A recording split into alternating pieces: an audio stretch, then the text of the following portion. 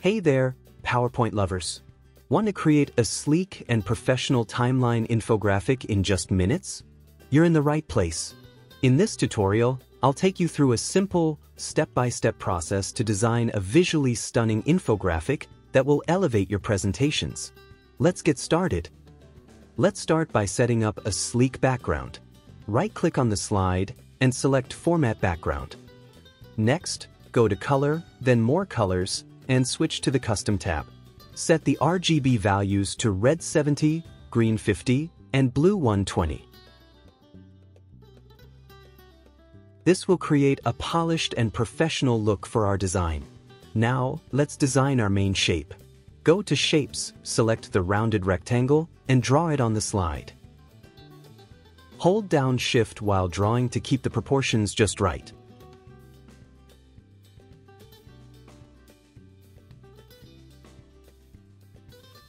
See that small yellow dot on the corners? Drag it to adjust the curve and create a smooth, rounded effect that fits your style. Once you're satisfied with the shape, center it perfectly on the slide by going to Align and selecting Align Center and Align Middle. Looks great. Now, let's turn on guides to help us position our elements accurately. Head to View and enable the guides. These lines will help us align everything perfectly as we build our infographic. Next, let's create a unique custom shape. Go to Shapes, select a rectangle, and place it over the rounded rectangle. Now, select both shapes, go to Merge Shapes, and choose Subtract. Let's refine it further. Repeat the step with another rectangle, align it, and subtract again.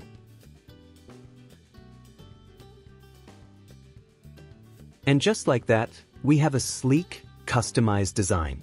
Looks even better.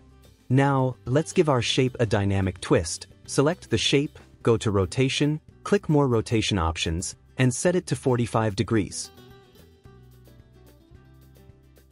Just like that, we've created a sleek, modern element for our timeline.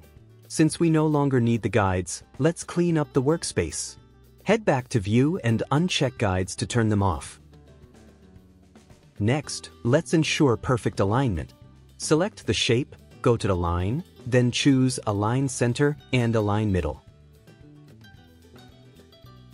Time to bring this shape to life with colors. I've got a pre-made palette, but you can use your own. Right-click on the shape, select Format Shape, and choose Gradient Fill. We only need two gradient stops, so delete the extras. For a smooth and elegant gradient, Use the eyedropper tool to pick a darker shade for the first stop and a lighter shade for the second stop.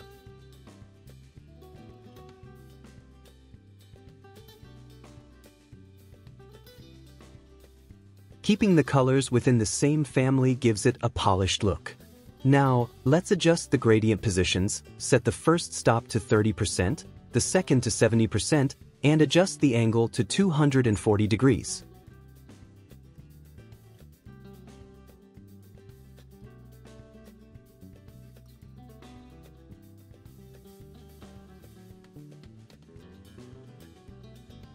Looking great. Next, we'll add an outline.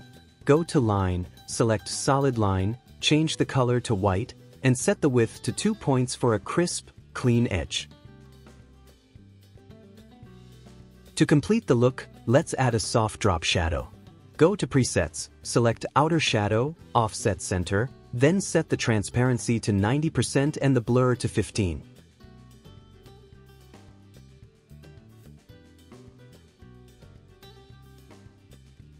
And there you have it our first element is done.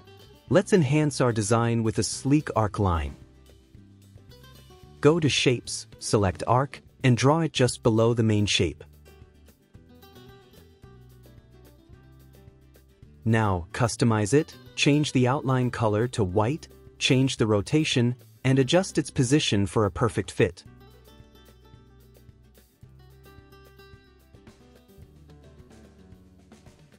Then, right-click, go to Format Shape, and set both arrowheads to oval for a smooth, professional look.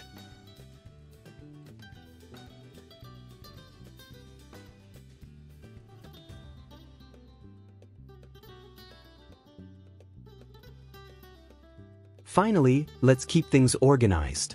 select both the shape and the arc, then press Ctrl plus G to group them together. Now, let's build our timeline by duplicating the shape. Hold Shift plus Control and drag to create two more copies. Then, select all three shapes, go to Align, and choose Distribute Horizontally to ensure perfect spacing. Next, group these three shapes and duplicate them again.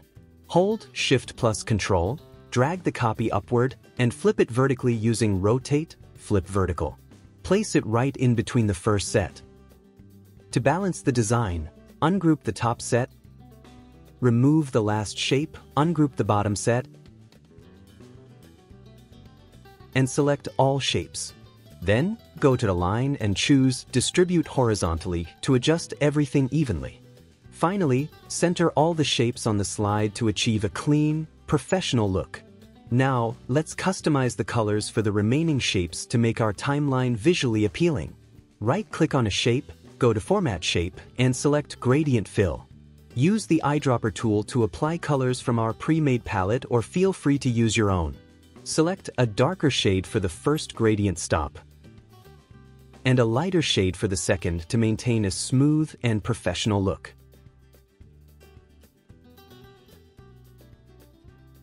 Once the colors are set, it's time to add text. To speed things up, I'll use text from a previous design, but you can add your own custom content to match your needs. Next, select the heading text and the main shape, then group them using Ctrl plus G. Repeat this for the other shapes to keep everything organized. And that's it, our timeline is coming together beautifully. To bring our design to life, let's add some animations, go to Animations, open the animation pane, and start with the arc line. Apply the split animation, go to Effect Options, and change the direction to vertical out. Set it to start after previous for a smooth transition. Now, select the shape group and apply the float in animation. Set the duration to 0.75 seconds and change the start option from on click to with previous. Then, add a slight delay of 0.25 seconds for a more natural flow. For the text, apply the fade animation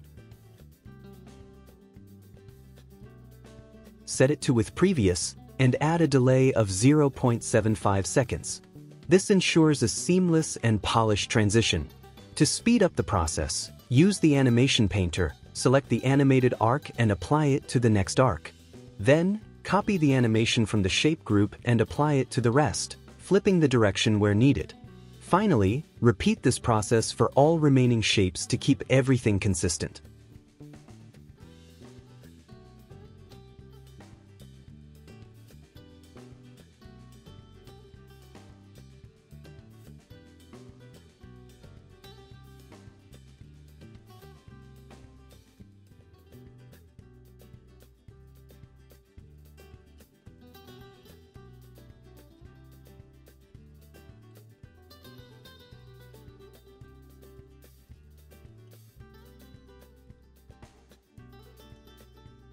And there you have it your sleek, professional timeline infographic, fully animated and ready to impress.